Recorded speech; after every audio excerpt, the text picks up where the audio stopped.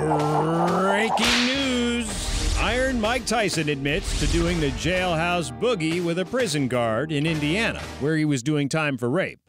Yeah, prison's a lonely place, and a loving guy like Mike has to get his lovin' wherever he can, apparently.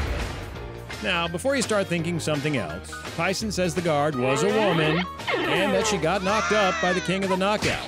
That's what he says, and uh, we're not going to argue with him. Of course, all of this could be to create some buzz for Tyson's one man Vegas show since he didn't name the woman and also claims she never had the baby. Of course, if she did have Tyson's kid, it would probably be pretty easy to spot.